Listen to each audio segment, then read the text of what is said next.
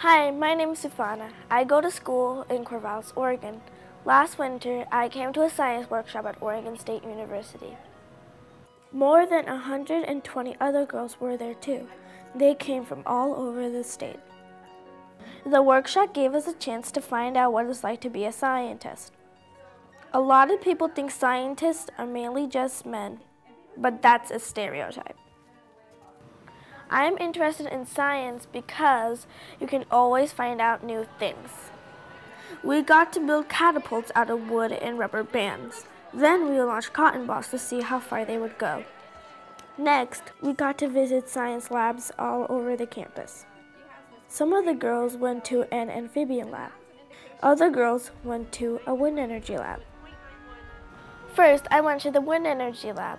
My partner and I got to design windmills and see how much electricity they generated. Then I went to the amphibian lab. I got to touch and take pictures of salamanders, newts, and frogs. We also learned about amphibians and how they affect our environment. The coolest thing about the workshop was seeing all my opportunities in the field of science. I was really surprised by how women in science are often underestimated. When I grow up, I want to become a pediatrician because I love being around kids and they're just they're just so easy to work with.